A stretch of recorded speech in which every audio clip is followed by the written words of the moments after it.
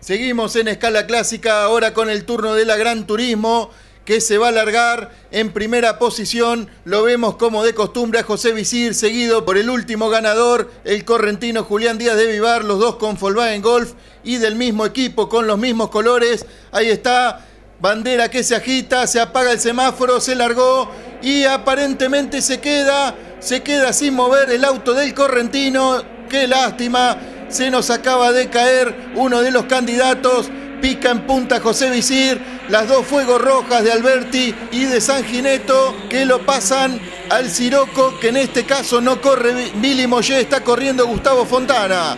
Y aquí vemos una humareda importante, producto del cemento que han tirado los auxiliares de pista sobre una mancha de aceite que ha dejado algún auto en otra categoría. Y aquí vemos como la Fuego de Lauriti de la clase A lo pasa Viganó con la Fiat X1 noveno como parado en plena recta y aquí pueden apreciar la diferencia de potencia en los autos de la clase A con respecto a los autos de la clase B. Se empiezan a separar obviamente. Aquí están los cinco primeros, todos de la clase A. Más luz para el puntero. Segundo y tercero también se distancian del cuarto, Gustavo Fontana. Y aquí van a pelear entre las dos Cupé Fuego, se tira por adentro San Gineto y lo pasa, se pone segundo San Gineto que está reapareciendo. Y aquí en la clase B lo vemos a Mirochnik atacando la posición de Viganó con la Fiat X1 noveno. José Visir que en la primera curva intenta esquivar la mancha de aceite, aunque esté tapada. Uno que lo pisa y uno que va por adentro y pierde el auto. ¿Quién fue? Alberti lo perdió. También perdió la tercera colocación, pero puede dominarlo y vuelve al ruedo. Queda cuarto en la pista. Otro despiste, en este caso de Miroshnik. Perdió el 131 tratando de escaparse de Viganó. Y Viganó ahora lo pasa y se pone primero en la GTB. Otro 131, en este caso el amarillo de Torre Alday que viene en la cuarta colocación en la GTB. Seguido por Coletti con otro Alfa Romeo que acá lo vemos que pierde nafta del tanque de forma bastante exagerada. Mientras nosotros vamos a la punta, más luz de diferencia para el Golf de Visir. Segundo también ha quedado muy solito la Coupé Fuego. Aquí vemos otro de la GTA con otra Coupé Fuego, en este caso el azul, el auto de Lauriti. El auto de Lauriti que intenta acercarse a la posición de la Coupé Fuego roja.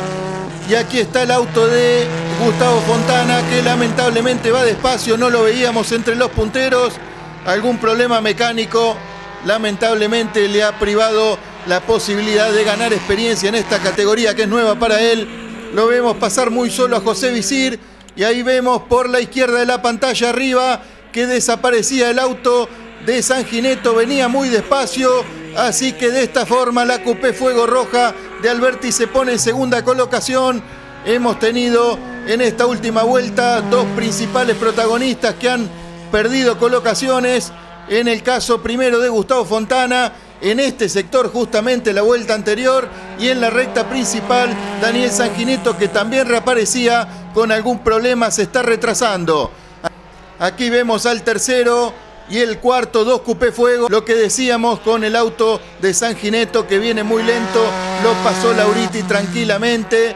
Ahora se pone tercero este auto, la cupé fuego azul con la franja blanca y la Coupé Fuego Roja de San Gineto a ver si va a entrar a boxe, viene muy lento, va a seguir en carrera, le quedan pocas vueltas, va a intentar algo, a rajunear algunos puntos. También bueno, vamos ahora a la lucha de la categoría GTB. Primero Viganó con X1 noveno, segundo el 131 de Miroshnik. Y aquí en la curva 1 vemos descontrolada la cola del X1 noveno, no lo puede enderezar y pierde todas las posibilidades lamentablemente perdió muchos metros con el auto de Miroshnik que lo acaba de pasar. También lo pasó Gustavo Fontana por delante. Y ahora vemos que del caño escape sale en forma inconstante un humo, por lo cual nos está diciendo que está fallando el auto. Otro que también tiene problemas mecánicos y está abandonando, en este caso Gustavo Fontana, que dentro de pocos días va a estar corriendo como compañero de José Visir en una nueva misión argentina a las 24 horas de Nürburgring.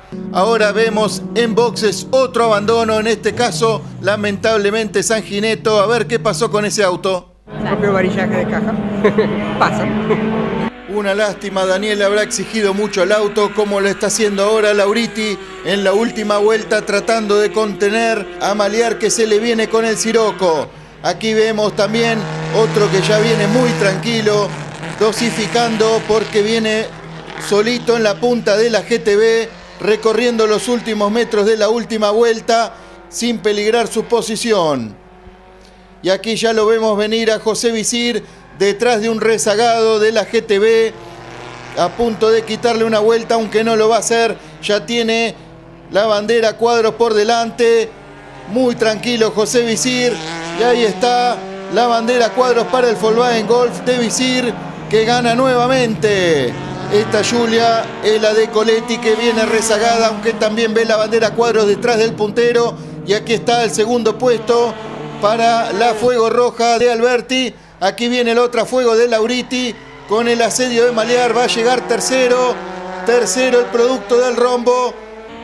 Segundo y tercero, dos Renault Fuego. Aquí viene para la definición en la categoría GTB el Fiat 131 en Mirochnik. También muy tranquilo, negociando la horquilla y le bajan la bandera cuadros. Bueno, se viene la fuego, pero vos todavía tengo la espalda defendés tengo la espalda un poco chamuscada. Me parece que la fuego me están quemando, los talones. Y dejar de felicitarlo, que a veces me olvido a Hernán, Silva y todo su equipo, Cristian, Gastón, Luis, que, son los que hacen este auto que, es tan ganador, ¿no? Anda perfecto. anda bárbaro. Lo único que tengo que tener cuidado es llevarlo por lo gris, que hoy no era poco, ¿eh? Hoy no era tarea fácil porque muy sucia la pista, llena de aceite por todos lados, se me ponía de costado tuve que levantar mucho el ritmo porque era difícil llevarlo por la pista. Bueno, en la categoría anterior hubo un incidente con dos pilotos, venían primero y segundo, se fueron los dos por una mancha de aceite, así que tal cual. Estaba muy sucia la pista, lo que pasa es que estos eventos tan grandes, tan largos, que empiezan a las 9 de la mañana con una infinidad de autos, bueno, van dejando un poco de aceite, combustible, y, nosotros que corrimos a última hora, eh, tenemos que lidiar un poco contra eso, pero bueno, igual es divertido, mejor, más divertido. Bueno, muchachos, de ustedes con la fuego, como decía José, se vienen para adelante. Los dos que, bueno, estaban en la categoría B, ahora se pasaron a la A y están cerca de la punta, que no es, no es poco. Sí, realmente el auto anduvo muy bien y eh, con los kilos que le sacamos y un poquito más de potencia que tuvimos, pudimos arrimar a, la, punta. Es muy difícil alcanzarlo a José porque realmente tiene un auto espléndido. Pero el auto nuestro anduvo muy bien, lástima agarré el aceite, hizo un medio trompo ahí en el curbón y coincido con José que estaba muy sucia la pista realmente y bueno, hicimos lo que pudimos, tratar de llevarlo perdonando en todos lados por el aceite y estaba muy sucia. Pero bueno, déjame eh, felicitar al equipo de Santa Gata que realmente armó un auto que va, va, va, va y no se para. Realmente nos paramos las primeras dos carreras por un problemita, pero ya lo solucionamos y ya está, ahora estamos bien. Bueno, y vos, Eduardo, ¿cómo, cómo anduviste con tu auto? Bueno, la verdad que el auto bien, eh, pero bueno, se me complicó un poquito y pude estar en el podio con un poco de suerte, ¿no? Con algunas idas de más, pero bueno, la verdad contento, bueno, quiero agradecerle a Felipe y a Marcelo Santagata, que la verdad que me entregan un autazo. Bueno, y esperando el regreso de tu viejo también, ¿no? Con la Toyota. Esperemos que pueda volver la próxima que anda con un poco de mala suerte. Bueno, suerte, eh, gracias. Bueno, Osvaldo, ganador de la categoría GTB. Ok, bueno, sí, la verdad que sí, fue una carrera muy linda. La verdad que el coche se comportó bien.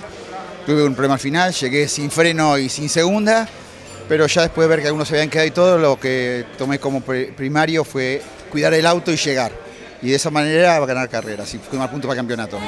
El Espejo Mágico es una tienda dedicada a todo tipo de hobbies. Autos a escala, maquetas para armar, trenes eléctricos y mucho más. Ventas por mayor y menor. Desde hace 40 años, el especialista en hobbies. Avenida de Mayo 1320.